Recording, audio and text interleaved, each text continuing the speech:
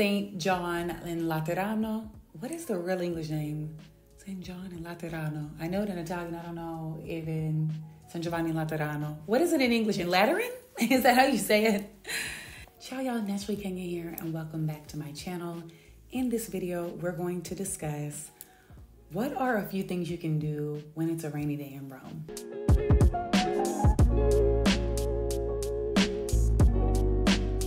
I wanted to make this video because as of late, it's been raining almost every day here. I don't know what's going on, but it's been raining every day. And it would be so unfortunate if you are that lucky tourist that comes to Rome and you're stuck in the rain. So let's say the forecast says rain. What do you do? We'll discuss in this video. So ciao y'all, Naturally Kenya here. And if you are new, my name is Kenya. Yes, like the country. And I'm an American girl documenting my life and sharing all of my experiences while living in Rome, Italy, from food to travel to drink to what you need to see while you're in the city. You can find all of this on my channel. So if you are new here, make sure you subscribe to the channel, hit the like bell if you like this content, and make sure to hit the notification bell so you never miss out on when I upload new videos. I am trying to upload every Sunday and on Thursdays, sometimes on Thursdays, mostly on Sunday. Um, and I'm going to be taking a break here for a few weeks uh, because I'll be traveling. Uh, so I will see you guys after the holiday season. So let's hop into these things to do in Rome when it's rainy. Rainy Rome. Still cute, but it's rainy. So, first things first, you want to make sure that you are prepared. Always bring an umbrella. Make sure you have shoes you can walk in that are not going to absorb all the rain. The thing about Rome is that the streets don't always drain so well. Okay, so you may be having to walk through maybe an inch or a few inches of water on your walk, so you'll have to hop over puddles. You want to make sure you have the right footwear to do that. So make sure you bring an umbrella or maybe even uh, some jacket with a hood over your head, but you're gonna need it.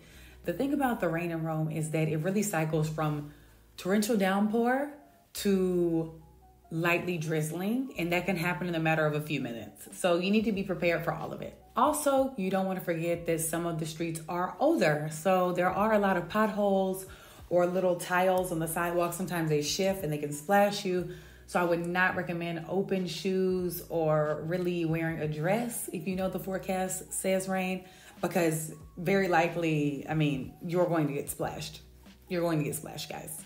So the first thing you could do, number one on the list outside of just a rainy Rome day, is to visit the Pantheon. It is one of the coolest places to experience the rain because the rain does fall through the oculus and it does drain. So there's a drainage system on the side, or, or, sorry, in a circle around the Pantheon, and the water actually falls into the center and slides off into those drains. So pretty cool sight to see. If it is a rainy day, make sure you go inside the Pantheon and see it out. You can also go to Rome's underground catacombs. So these are underground burial places. The most well known are the Catacombe di San Callisto, and it contains the crypts of the popes from the second to the fourth centuries. Another thing you can do is have a museum day. Obviously, in Rome, there are no shortages of museums, they're everywhere in the city, but I would tell you to avoid St. Peter's uh, Basilica and the Vatican museums because the line will be atrocious if you don't already have skip the line tickets. I suggest Borghese Gallery or the Gardens, but they are reservation only, so make sure you pick up your ticket online. You also have the option of going to Doria Pamphili. They have a Hall of Mirrors, which is really a sight to see. There's also Museo di Roma at Palazzo Braschi. You have the Galleria of Modern Art as well as MAXXI. And don't get me started with the churches,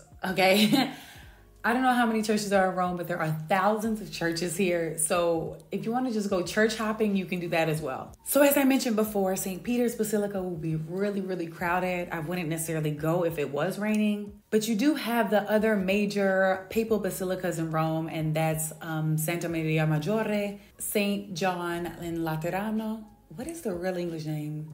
St. John in Laterano. I know it in Italian. I don't know even San Giovanni Laterano. What is it in English? In Lateran? Is that how you say it?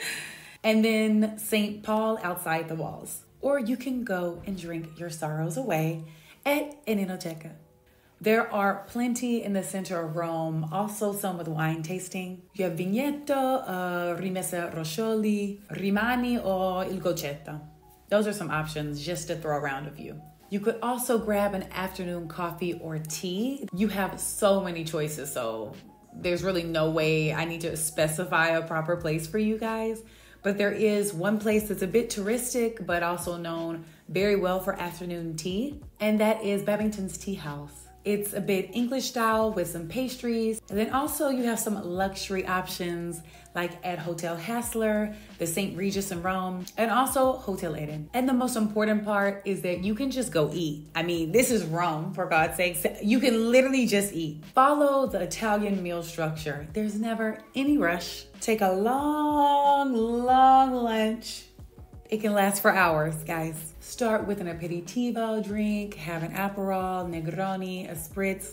Take your time, it's raining, who cares? Then go ahead and order an antipasto, order a primo. Get your hot meal with some risotto or funghi or soup just put the pasta, just get it all. Why not? And then go over to the secondo. So this is your main dish or veal, chicken, pork, fish, take your pick. Then don't forget the contorno, which is the side. Have your cooked vegetable salad or potatoes.